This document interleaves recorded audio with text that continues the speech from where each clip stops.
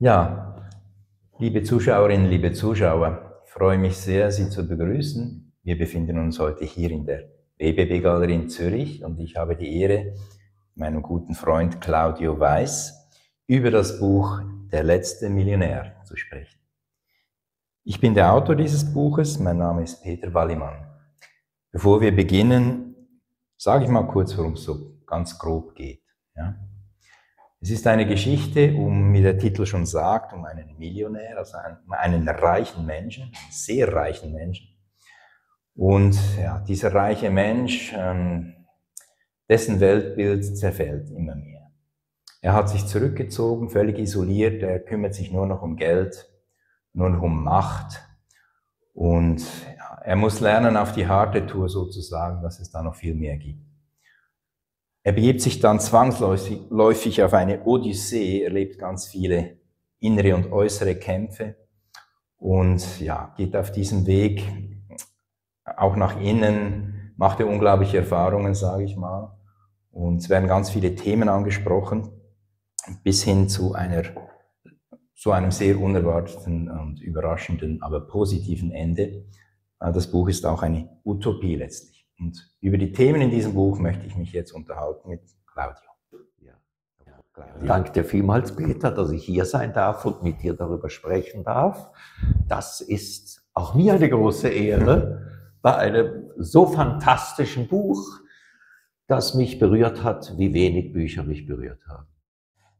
Wenn du nicht gewesen wärst, muss ich sagen, wäre das Buch wahrscheinlich gar nicht publiziert worden weil du warst einer der Ersten, der, der das gelesen hat, so im Vertrauen, das Manuskript. Und ähm, ja, also du warst so begeistert, ich habe selber fast nicht verstanden, weil als Autor hat man natürlich nicht, ähm, ja, soll ich sagen, man hat nicht den Abstand, das dann auch, ja, neutral zu bewerten oder anzuschauen. Äh, ich glaube, das hast du etwas ganz Wesentliches angesprochen. Wenn man das selber produziert, ist man drin. Mhm. Und ich bin von außen gekommen ohne jede Erwartung. Und bei mir ist es so, ich lese einen Roman pro Jahrzehnt. okay. Sonst lese ich nur Sachbücher. Ja, ja. Und normalerweise langweilen mich Romane. Mhm. Und hier war ich gefesselt. Und ich war gefesselt, weil gleichzeitig zwei Dinge drin waren, die mich begeistern und diese Begeisterung habe ich dir übertragen und bin froh, hat das mit dazu geholfen, dass das Buch publiziert wurde. Mhm. Es ist einerseits wirklich eine spannende Geschichte und eingepackt in diese Geschichte, in Dialogen, sind all die Themen, die mich bewegen, die unsere Welt bewegt und die hoffentlich unsere Welt etwas bewegen wird. wow, das hast du sehr schön gesagt. Bin ich natürlich geehrt. Vielen Dank. Ähm, ja, also ich muss auch sagen, ich habe diese, das Buch ist sehr lange gereift. Ja, ich habe die, die Thematik äh, der letzte Millionär schon vor über 20 Jahren eigentlich als Novelle mal aufgesetzt. Mhm. Da war ich noch jung und es hat dann das bist aber, du immer noch. Ja, ja. Das, das, das Thema ist dann lange oder hat lange geruht, bis ich dann vor drei Jahren gemerkt habe, das ist ja immer noch brandaktuell beziehungsweise eigentlich äh, noch aktueller als damals fast. Und deswegen habe ich mich dann entschlossen, habe mich nochmal hingesetzt und das Ganze ausgebaut und vertieft und destilliert und nochmals destilliert und komprimiert und ja, in diese Geschichte verpackt. Was ist für dich, lieber Claudio, so das Hauptthema oder ein, ein ganz wichtiges? Nun, es gibt aus, aus meiner Sicht mehrere Hauptthemen. Mhm. Und ich habe das Buch ja damals von dir bekommen als Manuskript und ich habe es in den letzten Tagen nochmal gelesen. Und das Hauptthema, das mir jetzt gekommen ist, ist, du sprichst jetzt, jetzt auch im Klappentext hast du es angesprochen, die Parallelwelten von künstlicher Intelligenz. Mhm. In welchen Realitäten leben wir? Inwieweit machen wir unsere Realitäten? Welche Möglichkeiten haben wir, unsere Realitäten zu machen? Das ist für mich ein, das, du hast eine, das, das ein Faden der Ariadne, der sich durch diese mhm. spannende Geschichte immer wieder hindurchzieht. Genau. Vielleicht darf man da, bevor wir da näher drauf eingehen, einfach ja. noch sagen, von der Geschichte her ist es so, dass äh, es geht also um einen Millionär, wie der Titel sagt. Es ist ein Machtmensch, ja, der, äh, dessen Realität immer mehr bröckelt, sage ich mal. Es ist eigentlich auch eine Parabel auf, was jetzt gerade passiert. Ja, wir haben Wirtschaftskrise und, und, und.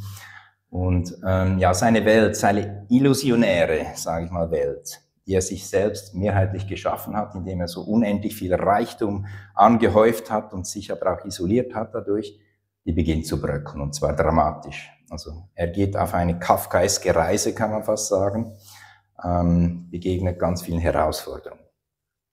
Und auf dieser Reise, um jetzt aufs Thema zurückzukommen, was du angesprochen hast, mit der Realität, wird ihm immer mehr bewusst, dass es da noch etwas anderes gibt außen. Ja. Ähm, dass er sich in einer Art Blase, das Wort kommt auch vor ja, im Buch, in einer Blase ja. genau befindet. Wie ist das bei dir so, so rübergekommen? Oder? Es ist genauso bei mir herübergekommen. Und das Interessante ist, dass wenn man einsteigt in dieses Buch und da sind ja sehr viele Dialoge drin, er spricht sehr mhm. viel mhm. und und er ist kein sympathischer Mensch. Nee, am Anfang gar nicht. Weiß Gott nicht. Aber er hat den merkwürdigen Namen Theophil, was ja wörtlich über, also von Gott geliebt, Gottlieb heißt. Mhm. Und er hat eine ganze Liebe von der ersten bis zur letzten Seite. Ja. Und wenn man ihn dann liest, das kann man so mitempfinden. Mhm. Man, also, so, also du kannst dich in diesen Menschen so unglaublich gut hineinversetzen, wie du ihn geschildert hast, wie er fühlt, wie er denkt, wie er kommuniziert. Und für diesen Menschen ist das seine Wirklichkeit. An der mhm. rüttelt nichts, aber auch gar nichts.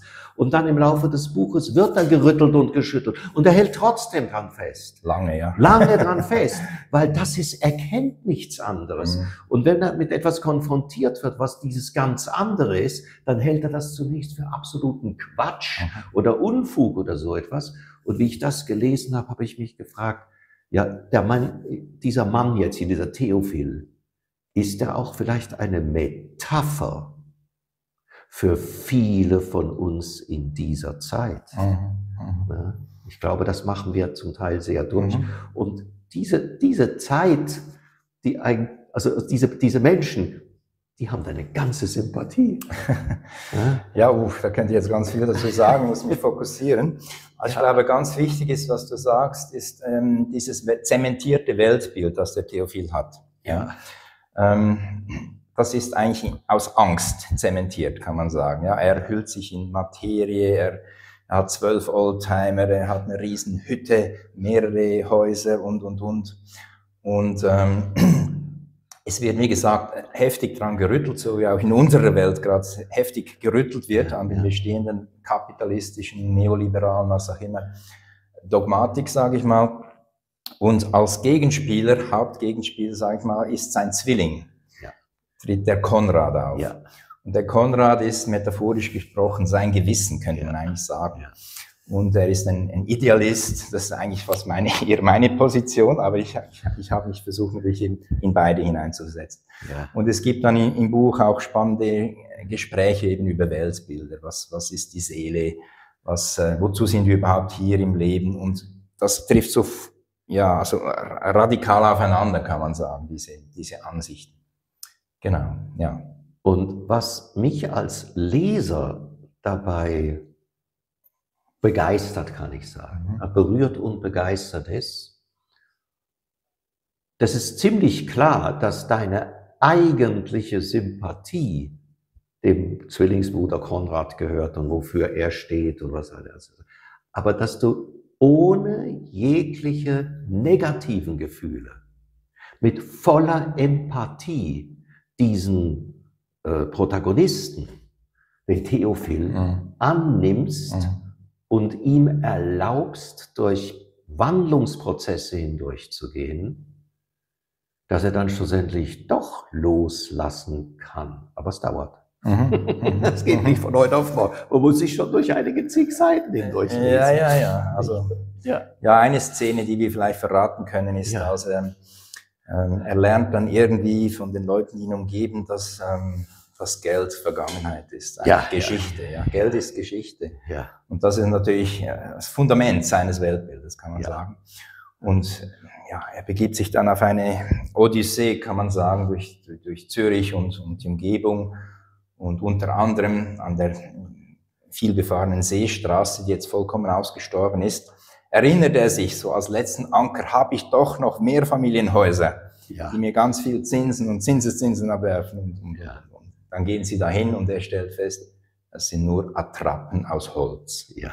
So, also ja. das sind, sind so, das sind so Schüttelmomente, sage ich mal. Ja, ja. Genau. Und in diesen Schüttelmomenten kommt sehr schön zum Ausdruck das, was du vor ein paar Minuten gesagt hast. Das, was die Welt für ihn zusammenhält, um Goethe zu zitieren, mhm. ist Angst. Mhm.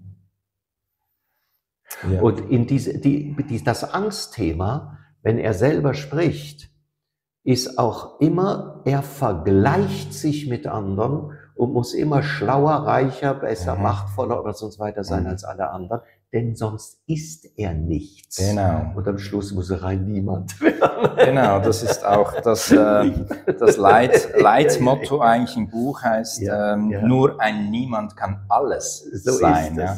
Und damit ist eigentlich gemeint, ich muss eigentlich all meine falschen Weltbilder hinter mir lassen ich muss auch meinen Egoismus erkennen und ein Stück weit überwinden. Ich muss in die Verbindung gehen. Und ich glaube, mit dem Wort Verbindung, da hätten wir gerade ein nächstes Stichwort, mhm. weil so wie er lebt, er lebt in einer Welt der Spaltung.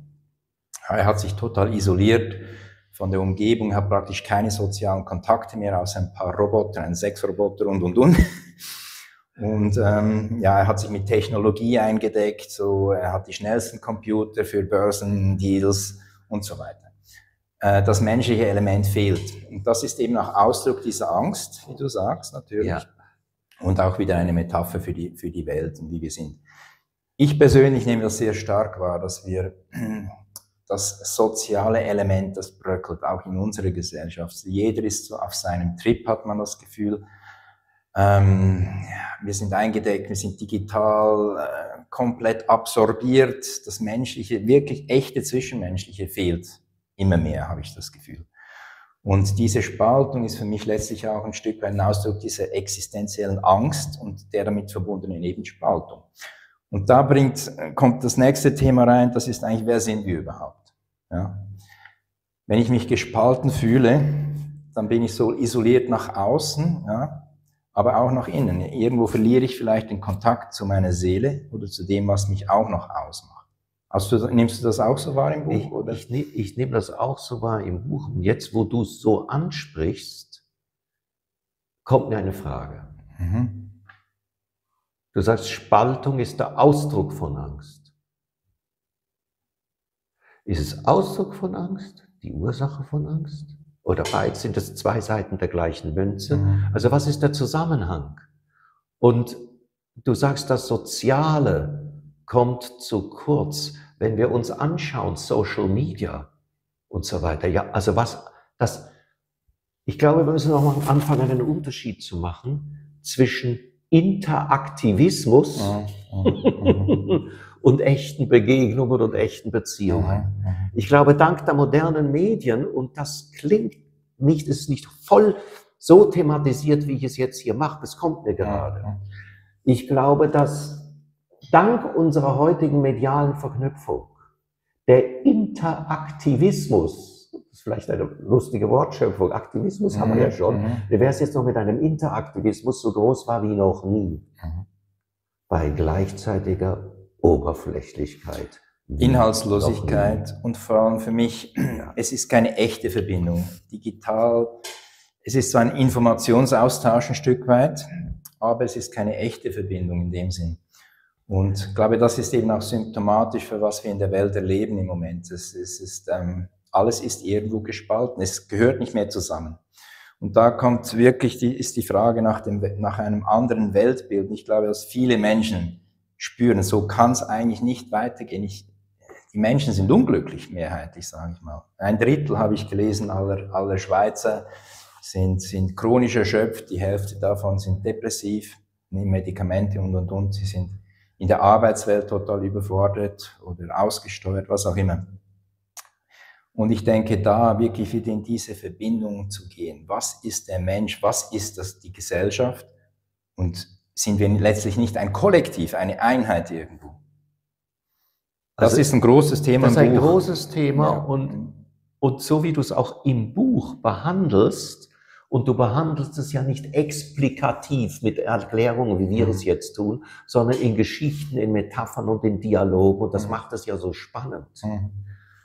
Und in dem, was du jetzt gesagt hast, sind für mich zwei Aspekte, die in dem Buch sehr stark zum Ausdruck kommen. Da, da hat das Wort Spaltung. Und diese Spaltung, die erleben wir zwischen den Menschen und leider Gottes nicht nur zwischen Individuen, sondern auch zwischen Nationen, zwischen Religionen, mhm. zwischen Ismen und noch und noch. Genau. Das sind kollektivierte genau. Spaltungen. Genau. Man ist entweder für oder gegen so, oder die Seite, genau, die Seite. So es gibt ja. nichts Verbindendes ja. mehr. Und diese Verbindung ist, glaube ich, in erster Linie eine Verbindung, die, je, die wir mit uns selbst mhm mich erinnert das an den Remember who you are, the mhm. Lion King. Mhm. Remember, das mhm. heißt, werde wieder Mitglied mit dir selbst. Mhm. Und da bist, bist du auch Mitglied mit allen anderen. Mhm. Denn die Vorstellung, und die erlebe ich sehr viel in Kommentaren auch von Philosophen, dass das Subjekt irgendeine isolierte etwas ist da sowieso, du hast da, glaube ich, irgendwann mal, kommt auch mal ein Traum mit so eine Blase, eine Seifenblase, die dann irgendwo in the middle of nowhere herumtut. Nein, das sind wir nicht. Das ist nur unser Bild, das wir von uns haben. Aber das sind wir nicht. Das bist du nicht, das bin ich nicht, das sind unsere Zuschauer nicht, das sind wir alle nicht. Ja, ich denke, da kommen wir schon, schon fast ein bisschen in die mystische Richtung. Ja, was ist der Mensch letztlich auch? Schöpfungsgeschichtlich ist, ist die gesamte Schöpfung letztlich nicht eine Einheit. Ja, rein biologisch sind wir alle aus einer einzigen Zelle hervorgegangen, wenn man so will. Das ist eine Differenzierung des Baum des Lebens. Ja. Wir sind ein Teil davon, erfahren uns aber durch unsere vermeintliche Intelligenz als gespalten oder wieder abgetrennt und oft eben auch arrogant dadurch, weil wir dann Macht ausüben können durch diese ja, Intelligenz, was aber eben keine höhere Intelligenz oft ist, sondern eine, eine rein funktionale. Und es ist eine lieblose Intelligenz. Genau, genau. Intelligenz ohne Liebe ist Dummheit. ja. Und das kommt darin auch wunderbar Verblendung. Ja. Das ist eigentlich Verblendung. Genau. Aber du hast das Wort Kollektiv angesprochen. Mhm. Und die Assoziationen, die zum Wort Kollektiv da sind, die wir auch geschichtlich erlebt haben, sind ja im Sinne dessen, was du ausdrücken möchtest in dem Buch und was dann auch nach und nach zum Vorschein kommt, ähm, irreführend. Aber die üblichen Assoziationen, die greifst du in einem, in ein, ein zwei Dialogen sehr stark auf. Mhm. Kollektiv ist ein gleichgeschaltetes, ähm, ähm, ähm, äh, wie, wie, wie, wie Zinssoldaten, das sind die, die, die gehorchen einem Befehl und das sind Automaten und so weiter. Das ist ja eine, eine Vorstellung, die man viel hat mit Kollektiv. Was heißt Kollektiv wörtlich? Mhm. Versammelt. Mhm. Und das schließt. Oder gemeinsam. Ja, gemeinsam. Gemeinschaft, ist eine ja, Gemeinschaft eigentlich. Eine, eine Gem genau. Gemeinschaft ist ein schönes ja, Wort, ja. nicht? Genau. Es ist eine Gemeinschaft genau. und die Gemeinschaft, die aus freien Stücken, mhm. aus Liebe organisch wächst, wie du das so schön in der mhm. Geschichte beschreibst, die bringt die Eigenschaft von jedem Individuum am stärksten genau. hervor. Es ist eigentlich ein, eine Gemeinschaft als Individuum. Das heißt, die Individualität wird sehr hoch geschätzt, aber als Beitrag zur Gemeinschaft ja. und nicht als Ausdruck von Egoismus. Ja. Ich glaube, das, das ist der entscheidende Unterschied. Und in dem Buch, und das war auch ein Stück weit meine Vision, das kann noch ein paar Generationen dauern, sage ich mal, aber sehe ich einfach vor meinem geistigen Auge, wenn ich jetzt das so sagen darf, eine neue Form der Gesellschaft von jungen Menschen, die das, die einfach mit den alten Werten brechen werden, die in ein völlig neues Bewusstsein, sage ich mal, eintauchen oder das mitbringen schon, die sich eben in dieser Gemeinschaft neu orientieren wo alles einen Platz hat, aber eben einen tieferen gemeinsamen Nenner. Und ich glaube, das ist genau das, was uns fehlt. Ja? Und Geld, das ist noch die wichtige Botschaft, bildet keinen solchen Nenner. Das ist ein Machtinstrument letztlich. in unserer Zeit. Ist diese Machtausübung, die du gerade angesprochen, jetzt am Schluss wieder angesprochen hast, dieses Überlegen sein müssen mit Macht. Ich komme auf die, möchte auf die jungen Leute nochmal zurückkommen oder eine eigene Erfahrung einbringen, eine Beobachtung einbringen. Aber ist diese, diese Macht und diese Unterdrückung mittels Macht und Geld ist ein wunderbares Mittel. Meine, früher hat man, hat man, hat man äh, vor allen Dingen natürlich militärische Gewalt und Polizei und so weiter, also physische Gewalt. Aber, aber finanzielle Gewaltausübung ist eigentlich ein Thema in diesem mhm. Buch. Systemisch kann man sagen. Und das ist genau. systemisch. Ja. Ja. Ne?